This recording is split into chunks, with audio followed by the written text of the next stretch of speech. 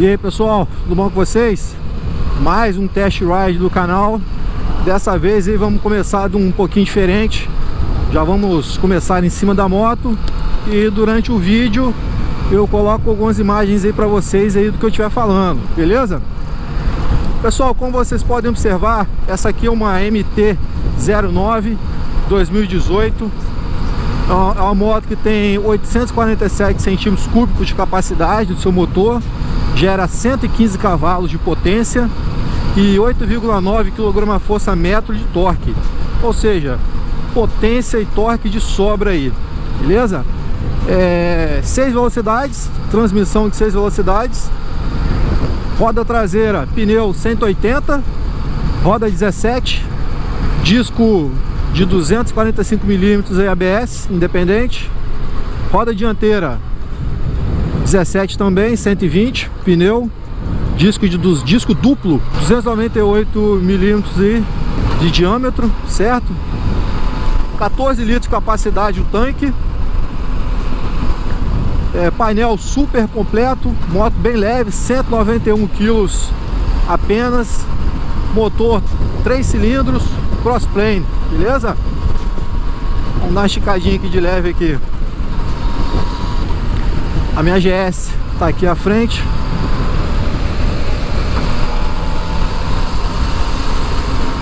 Isso aí, pessoal. É uma moto estilo naked, né? Faz na faixa aí dos seus 3 a 16 km por litro, dependendo da sua tocada. A moto que tem muito torque, extremamente potente. É à toa que é apelidada de Master of Torque escadinha agora aqui, cortar esses veículos.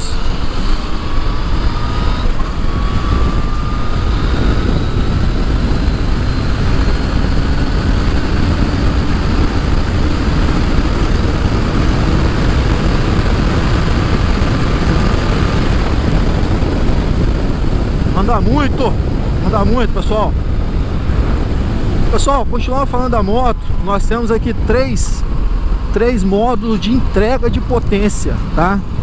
É, muitas pessoas confundem com, com o tipo de, de, de, de potência que a moto libera. Não, nos três modos ela libera a mesma potência. O que vai diferenciar é a resposta do acelerador. Essa moto possui um acelerador eletrônico e tem três modos de resposta do acelerador. Agora eu estou no standard, se eu apertar aqui mode, botão do lado direito, mudou para o A. Se eu apertar novamente, muda para o B. Então esses três modos de entrega de potência que vai definir a resposta aí do acelerador. Vou andar no standard aqui, porque eu tô, tô passeando com a moto aqui, eu não tô acelerando para ter performance, ok? Painel super completo, completamente digital.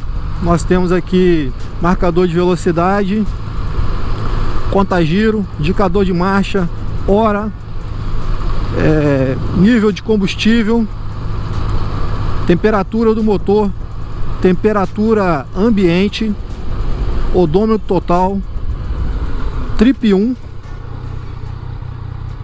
trip 2, fuel trip,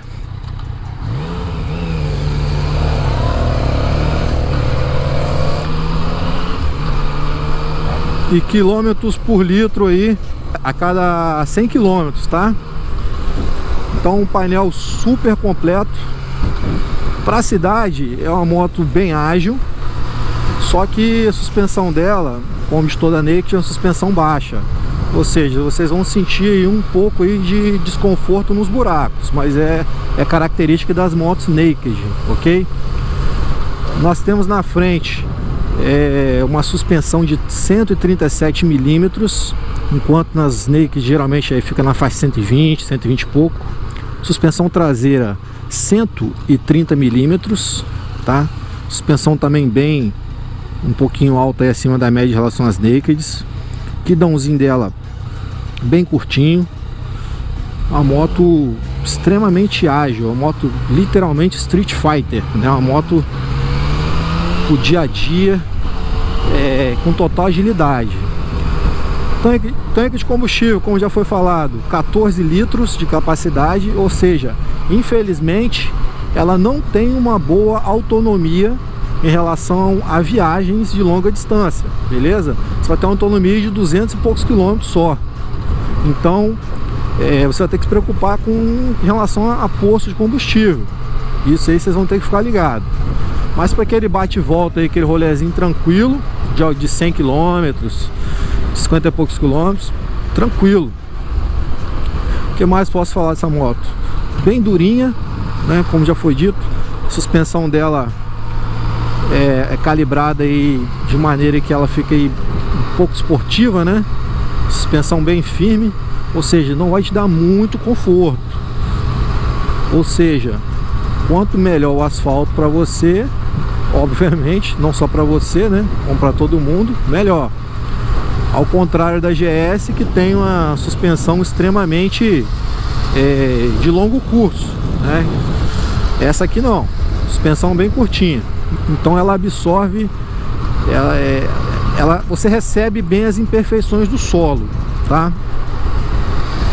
O banco dela, o banco dela é um pouquinho duro, né? Porque não tem a proposta, é uma moto que não tem a proposta de você fazer longas viagens, é uma moto esportiva, né? Uma moto naked é, esportiva. Então não espere muito conforto não, tá? Em relação ao banco não. Mas para rodar na cidade, como eu falei, para fazer aquele passeiozinho aí de, de, final de semana, daquela esticadinha de leve, tranquilo, não vai ter problema nenhum não. Beleza, pessoal? É uma moto que é limitada eletronicamente a 225 km por hora. Isso aí é uma curiosidade. Então a galera geralmente faz um remapeamento, tira esse desbloqueio da moto e ela fica totalmente liberada aí, passa dos seus 250 km fácil, fácil, fácil, tá? A moto deita muito nas curvas, tem uma agilidade muito boa aí de mudança de, de ângulo. A moto extremamente ágil, tá? Motor 3 cilindros, crossplane, é uma moto que uniu o útil ao agradável. Ela tem aquele torque das motos bicilíndricas e tem aquele conforto, aquela não vibração das motos de quatro cilindros quando você atinge altas velocidades. Ou seja, um motor que casou muito bem com, com a proposta dela. Yamaha está de parabéns. Esse motor crossplane. Só colocar uma descarga esportiva aí que muda completamente o ronco da moto. Pessoal, basicamente é isso aí. É... Test ridezinho aí bem rápido só mesmo para passar as principais características da moto. Todo mundo aí já conhece a moto, foi lançada já há bastante tempo aqui no Brasil. Tem a nova geração agora, 2020, que 2019 né? Que veio com umas mudanças significativas, tá pessoal? A nova MT veio com kick shifter de fábrica, controle de tração, né? É, e também um detalhe interessante, o trip dessa moto, o modo de, de, de entrega aqui do, do, acelerador, toda vez que eu desligo a moto e ligo, ela volta para o standard. Essa moto, a, 2000, a 2020, não. Você deixou no ar, liga a moto, ela está no ar. Embreagem deslizante, né? É, e assistida e deslizante, então a moto que bem completa, a 2000 e a novo modelo. Mas esse modelo também deixa nada a desejar é um modelo que já era bom, ficou ainda melhor, tá? Muito obrigado aí por assistirem o vídeo. Quem puder dar um like, se inscreva no canal e até o próximo vídeo. Oh!